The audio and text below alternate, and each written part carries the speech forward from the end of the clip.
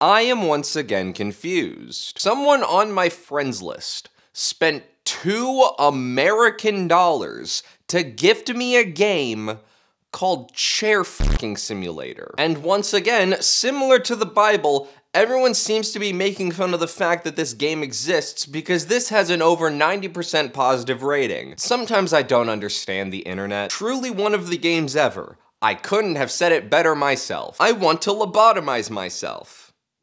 I couldn't have said it better myself. Every day we stray further from God. I couldn't have said it better. The Citizen Kane of games. No, it's not. No, it's not. The...